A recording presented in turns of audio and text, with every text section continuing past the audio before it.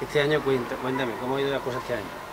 Pues teniendo en cuenta el objetivo principal que tenemos como club, que es que la mayoría de los niños, todo aquel chaval o chavala que quiera hacer baloncesto en el pueblo, eh, tenga el, vehículo para, poder practicarlo, pues la verdad es que contentos porque mantenemos, incluso aumentamos un poco el número de fichas y tenemos presencia en prácticamente todas las categorías de, las competiciones federadas y, los chicos pues contentos con sus resultados, eh, algunas veces se gana, otras veces se pierde, pero sobre todo con muchos niños y niñas haciendo el deporte que nos gusta a nosotros. ¿Qué, rango de edades tenéis aquí? Pues empiezan desde, tenemos una escuela de babies, eh, empiezan desde primero de primaria, creo que son cinco años, y tienen ahí dos, eh, años de mm, prácticamente iniciación al deporte. Intentamos que sea más baloncesto, pero es prácticamente iniciación al deporte, a hábitos saludables, eh, merenda fruta, eh, moverse, desarrollar la motricidad. Y luego a partir del, de tercero de primaria ya empiezan a, tener un poco, más de contacto con el, baloncesto en sí. Ya hay unas ligas a nivel de la provincia y ya pues bueno, hasta el más mayor de los seniors, que no sé si este año rondaría los 35 o así.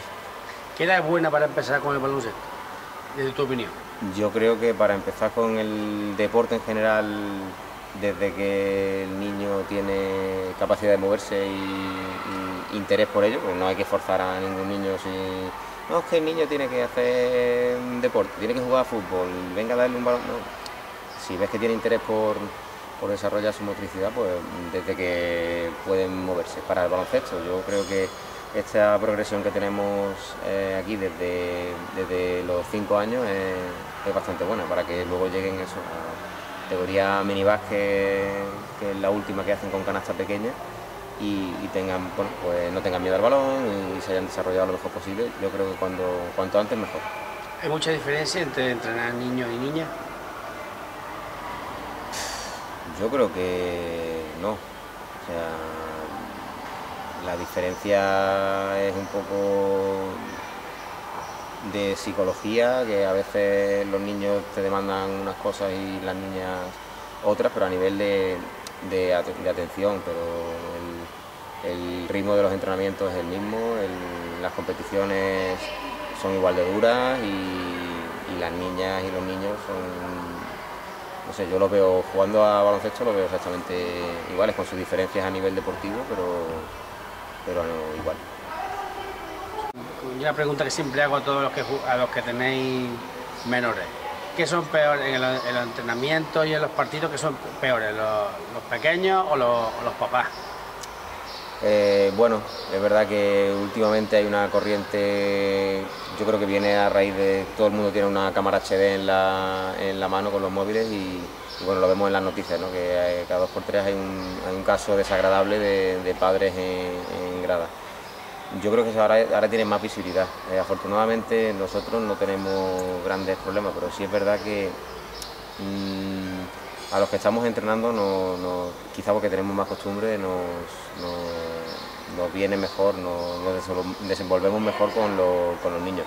La problemática de los padres, la problemática de las familias está ahí y afortunadamente somos un deporte en el cual no hay mucho problema, hay otros deportes en los que sí se dan más, pero bueno, nosotros siempre tenemos reuniones desde inicio de temporada con los, padres de cada, de cada equipo, eh, explicándoles que, bueno, que aquí los niños vienen a disfrutar y que hacemos hincapié en que eh, aquí se viene a animar al, equipo y nada de ni de meterse con el árbitro, porque es un chaval de, a lo mejor es un chaval de 15 años y, por supuesto no crear, intentar no crear situaciones de estrés a los chicos que son los que están eh, desarrollándose.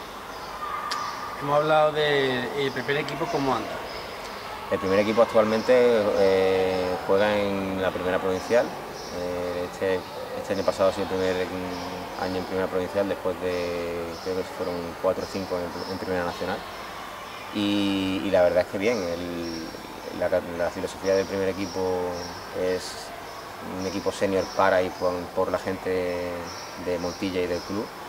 Y bueno, en, la categoría en la que nos merezcamos primero deportivamente y luego a nivel tanto deportivo como de, como de implicación, eh, nuestros jugadores eh,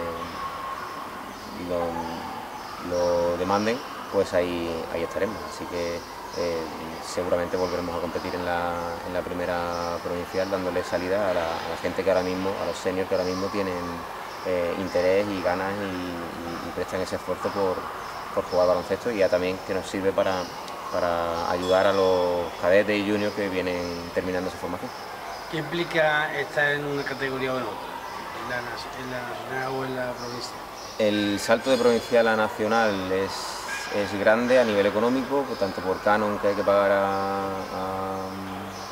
a, la federación, eh, los arbitrajes aumentan mucho más y sobre todo los desplazamientos. Quizá ahora mismo el salto que habría entre Primera Nacional y Liga EVA no es tan grande, o sea, una vez que estás en Nacional, el salto entre Nacional y Liga EVA a nivel económico no es tan, tan grande porque siguen siendo categorías mejores de nivel, pero siguen siendo categorías amateur. Para los que no conozcan mucho esto, podríamos decir que la Primera Nacional podría ser una segunda de fútbol, ¿puede ser? ¿Segunda división de fútbol? No, no, que va, que va, nada, que, ver. Eh, muchísimo más, estaría, no sé, es que las, categorías en fútbol no las conozco, pero sería una, la primera nacional, digamos que es un grupo en el cual compites con la mitad de Andalucía. Eh, no, sé, no sé qué equivalen en fútbol, pero el, último año creo que competíamos con equipos de Jaén, Almería, Granada y no sé si alguno de Málaga. Y por otro lado estaban Huelva, Sevilla, Cádiz. Bueno, entonces el club... Eh, eh, ¿de qué forma se sustenta tanto económica como deportivamente? Pues la verdad es que tenemos una ayuda importante desde eh, Junta de Andalucía, Diputación y, el Ayuntamiento y las cuotas que pagan los, jugadores y los patrocinadores, sobre todo en este último año eh, Vidrimón ha sido bastante importante y, bueno, eh, cuando me refiero a ayuda de de ayuntamiento también incluyo el, uso de la, instalación, tanto esta como la del molinillo, que hombre, la verdad es que, como te decía antes, que conozco de otras provincias, el, poder disfrutar de, esto es un, lujo para un club como el nuestro. ¿No se echa, ¿Crees tú que se echa de menos más participación a nivel empresarial en la actividad deportiva? Bueno, la verdad es que nosotros, eh, tengo otro compañero que se de junta que intenta eso, relacionarse con las empresas y, intentar bueno, que tengan visibilidad a través del deporte y, que participen. Eh, la verdad es que no sé a nivel fiscal como, está, si haría falta una, ayuda que, incentivase más a, empresas a, participar en deporte base.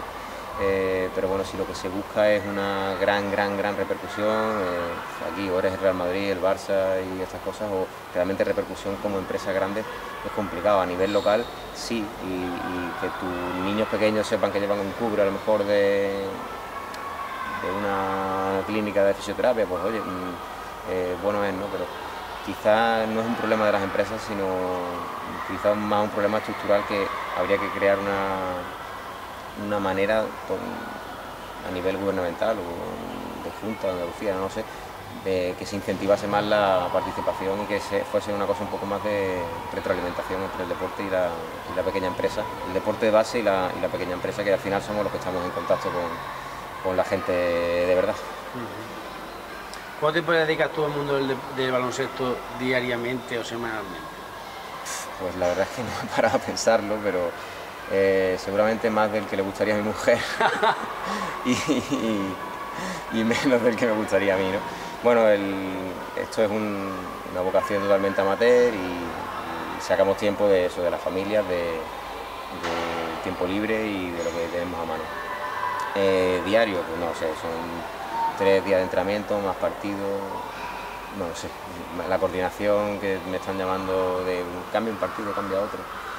Eh, te ocupa tiempo, sobre todo en momentos puntuales. La compañera que se, se dedica al tema de las subvenciones, hay momentos puntuales del año que está la pobre como una loca y de papeles, pero, pero bueno, lo hacemos con ilusión, con ganas de, sobre todo cuando vemos a los chavales pequeñitos, los más pequeñitos disfrutando de esto, pues nos reconforta. ¿Qué día fue más, más alegre deportivamente que tú recuerdas que este club? Hombre, la verdad es que me gustó el, ver cómo el club ayudaba a, aquí se hicieron unos campeonatos de, Andalucía cadete, estaban aquí los mejores cadetes de Andalucía, chicos que ahora bueno, terminarán jugando algunos en profesionales, y eso, ver de cerca esas canteras tan, tan potentes, pues es bonito. Eh, también ver como algunos de los jugadores los que yo he entrenado de más pequeños, luego les he visto en algún partido jugar con el equipo senior y hacer un gran partido, eh, también te, llena mucho. Y, la verdad es que para mí este año ha sido una gran satisfacción ver cómo el equipo Benjamín eh, son 16 niños y, los ves disfrutando en la pista, se ha creado una competición nueva sobre, sobre tema de valores y actitud y tal, y era como que nosotros no teníamos que que entrenar nada con ellos sobre ese aspecto porque como que vienen ya con ellos inculcados, ¿no? Y eso, la verdad es que me eso sí que me, ha reconfortado un montón de eso, en la pista. Se habla, se habla mucho de este deporte, de las lesiones en rodillas, en tobillo, en muñeca. Sí. Mm, imagino que vosotros a los niños les dais algunas instrucciones para que calienten antes ese terreno, como lo hacéis vosotros. Sí, eh, es verdad que, bueno, como todo el deporte tiene gran acarrea lesiones, eh, bueno, si estás sentado en el sofá no te va a pasar nada, eso está claro, pero eh, es cierto que tenemos un protocolo tanto de cuando ya ocurre la lesión como para prevenir, bueno, que se consiguiera poner toda esta protección alrededor del pabellón fue esencial, en parte fue también gracias a aquel campeonato que te hablaba antes pero bueno, esto nos quita muchísimos problemas. Y lo que me hablas de 15, rodillas, eh, dedos, em, en el calentamiento cada eh, tenemos digamos unos, estándares para calentar para los calentamientos de todos los equipos que, tienen que ir haciendo en progresión para intentar minimizar la aparición de esas lesiones, aunque bueno, a veces son cosas fortuitas y, bueno, está bien. Con respecto a ProSub, ¿qué proyecto estáis teniendo en Ardín? Mm, bueno, con APROSI tenemos una, colaboración de ya bastante tiempo, con la cual tenemos un, par de entrenadores que, van allí a sus instalaciones y con los chicos de, de pues van haciendo actividades de baloncesto y, los integramos tanto en día de presentación como si tenemos algún eh, alguna fiesta, algún día festivo en el club, pues vienen, participan, juegan un partido amistoso. Eh, y la idea es eso, que ellos también vayan haciendo el deporte que a nosotros nos gusta y se lo pasan genial y la verdad es que es un, orgullo poder trabajar con, esta gente. ¿Qué valores tú crees tú que son los que inculca baloncesto? Bueno, así como hablando en general, no, yo creo que de cualquier deporte puede sacar cosas positivas. Lo que, por lo menos desde nuestro punto de vista, intentamos eh, inculcar más es el esfuerzo, el compañerismo eh, y la responsabilidad. una de las cosas que, decimos a los chicos de los equipos aquí es que mm, aquí tiene que aprobar y aprobar todo el mundo con buena nota, que aquí no se va a ganar nadie la vida jugando al, baloncesto, pero lo siguiente es que aquí no se falta por, por estudiar, para intentar mm, crear ese, vínculo y ese compromiso de, oye, si yo me he comprometido a estar con, un equipo, si yo me he comprometido a estar en un deporte de equipo, pues eh, no puedo, me tengo que organizar bien y, tengo que estar con, el equipo en las buenas, en las malas, en las difíciles y en, las fáciles. Así que el compañerismo, el, ese eh, respeto y el, y el compromiso yo creo que es de, lo más importante. Aparte, por supuesto, del esfuerzo que lleva, el esfuerzo físico, el esfuerzo mental que lleva implícito cualquier deporte. Eh, ¿Qué otros clubes hay así de la provincia que tú puedas, que digas tú, estos clubes van eh, hombre, al mismo nivel que nosotros, evidentemente? De baloncesto. Sí, pues, baloncesto. Eh, hombre, em, en, Córdoba hay, varios clubes importantes con muy buen, con trayectoria amplia y con, también con, muchísima, muchísimos equipos. Marista de Córdoba es un referente, tiene equipos en todas las categorías, el Colegio Virgen de Carmen, eh, Córdoba Vázquez y, Ciudad de Córdoba, también son eh, quizá en, menor medida porque tienen menos equipos femeninos, pero eh, son equipos grandes que tienen pues, equipos en primera nacional, mucha, mucha cantera y tal. Pero sí es verdad que también me gustaría destacar, aparte que ellos tienen muy, muy, buen, muy buena cantera, eh, pero bueno, eh, me parece muy importante el trabajo que hace, por ejemplo, Peñarroya, también sacando mucho equipo y, por ejemplo, ha quedado campeón en, categoría junior masculina. Y Peñarroya, Puente Genil, Cabra, eh, grandes núcleos de población que son capaces también de, con las dificultades que tenemos los equipos de, pueblo, de los extrarradios, de no es la capital, y, tienen buenos equipos y, buenas canteras. Así que ¿Qué no haría falta a nosotros para llegar eh, por ejemplo, sea un Peñarroya o pasar un... que no haría falta? ¿Qué crees tú que le puede hacer falta al Montilla? No es que, nos haría falta, si ya lo somos. simplemente lo único que, que hay que hacer es mantener la estructura y habrá años en los que estaremos, por, el nivel de los, chicos, de las generaciones, habrá años en los que se podrá competir más, competir menos, pero el, mayor objetivo de los equipos que estamos así diseminados por la, por la provincia creo que es eh, mantener el mayor número de, chicos y chicas haciendo, haciendo, deporte. Y al final a nivel deportivo se, habrá años en los que tenga dos equipos que se metan en Final Four, habrá un equipo que sea campeón, pero eso te lo va a dar el, que tú tengas durante muchos años ese volumen de equipos y ya te digo, este año ha sido Peñarroya, nosotros también hemos tenido varios años atrás con, éxitos en, Liga Provincial de, equipos de cartera eh, Cabra hace poco también está haciéndolo muy bien. En fin, en función de la generación que tengan, pero la base es conseguir eso y yo creo que estos clubes lo estamos consiguiendo. Vosotros donde tenéis la sede aquí en el pabellón municipal de Montilla, pero luego en redes sociales y eso, ¿cómo estáis? Pues por vía Facebook y por vía Twitter nos pueden encontrar como Club Baloncesto Montilla, son las redes que manejamos actualmente. Y bueno, cualquiera que quiera también información más cercana o algo más concreto, pues que se acerquen por el pabellón, que estaremos por aquí o eh, que pregunten en control y que pregunte por, cualquiera de nosotros de la Junta y para cualquier ámbito, ya sea administrativo como para iniciarse con algún niño a jugar o lo que sea. y una pregunta, ¿y para las personas mayores le vendría bien el baloncesto? Yo creo que sí, o sea... Allá estoy hablando de 60 para arriba. Yo creo que el, deporte este me, hace gracia porque tengo relación también con cuando yo estudié en la facultad. Eh, vimos eh, tanto judocas como jugadores de rugby, que parece que son deportes muy agresivos, y la gente se mantiene haciéndolo hasta los 90 y tantos años. Así que yo creo que llevado con, sabiendo las limitaciones que el cuerpo te va poniendo poco a poco, pero es una manera de divertirse con los amigos y yo creo que por supuesto. Pues yo entiendo que la coordinación, que es muy importante en el tema del baloncesto, las personas así más mayores también les debe venir bien. Claro, eh, coordinación eh, óculo manual, trabajar con, con las manos, eh, tienes que estar pendiente de compañeros que se mueven, de un balón que se mueve. Eh, sabiendo las limitaciones del cuerpo y llevándolo bien, eh, el deporte, y en este caso el baloncesto, yo creo que a cualquier edad. Bueno, y en la Liga de Verano tenemos ahí el ejemplo, tenemos desde niños infantiles hasta gente con no sé cuántos años y ahí están disfrutando y pasándosela bien.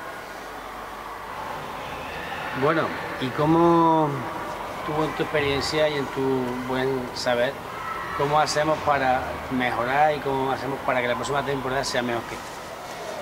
Bueno, yo creo que sobre todo eh, con implicación de, de todos los ámbitos, es decir, tanto los compañeros entrenadores como los, niños que tienen que intentar eh, hacer un efecto llamada y, a su amigo que no hace deporte, oye, vente y prueba baloncesto. Esos entrenadores que, que trabajan de 6 a 4 de la tarde, de la mañana a 4 de la tarde, que, siga teniendo ilusión por, decir, oye, pues me vengo a las 8 y sigo, y sigo entrenando. Y, esos padres que, pues lo mismo, ¿no? que, hacen ese esfuerzo de, llevar a, los niños después de su jornada laboral, pues que, lo siguen haciendo poquito a poco así, con la ayuda de instituciones y demás, yo creo que tenemos que intentar, sobre todo lo que te comentaba antes con el tema de los otros equipos de la provincia, es que vayamos aumentando ese volumen de, masa, de cantera y, tendremos más juventud sana haciendo deporte y al final pues bueno tendremos momentos puntuales en los que el pabellón se podrá llenar y disfrutar de un baloncesto de mayor nivel. Como digamos como pistoletazo de salida a, la temporada siempre con ayuda del ayuntamiento organizamos el, torneo Vendimia que es un partido. Cuando arranca la temporada qué es mejor empezar a tu trapo y empezando a limar pereza o a limar a limar detalles a medida que van avanzando la temporada como lo hacéis vosotros ¿Empezáis desde, desde 0 a 100 o empezáis a 100 a tu pastilla? ¿Cómo lo empezáis? Se va haciendo un poco en progresión, con, más carga física al principio y luego se va aumentando la carga eh, más técnico-táctica con más importancia, sobre todo en, las categorías pequeñas, en la cual al final prácticamente solamente es eso. Aunque la parte física también se trabaja con, con balón, con juegos, para que no sea una cosa aburrida. Cuando hablamos de baloncesto siempre pensamos en personas dos metros y pico, dos metros y pico, ¿La norma es esa o hay, hay toda Hombre, yo de eso veo poco, la verdad. La norma es esa cuando veo un partido de televisión.